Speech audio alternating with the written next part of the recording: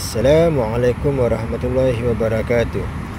In this video, I will be sharing with you about transportation in plants. There are two key processes that we have to understand. One is the water carrying system and second the food carrying system.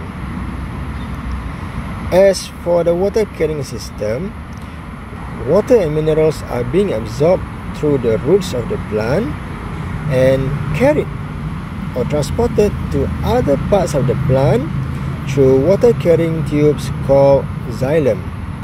It's important to note that for plants, water is only absorbed through the roots of the plant, not the leaves.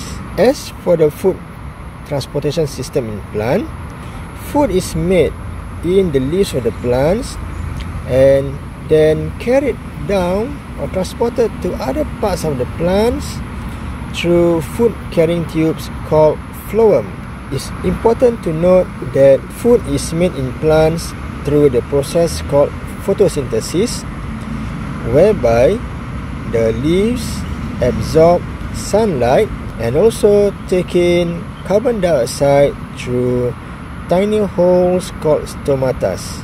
As for the stomatas, these are tiny holes in the leaves which allow the exchange of gases, such as taking in carbon dioxide for photosynthesis and also taking in oxygen for the for respiration. Also for the stomatas, these tiny holes regulate the loss of water during transpiration.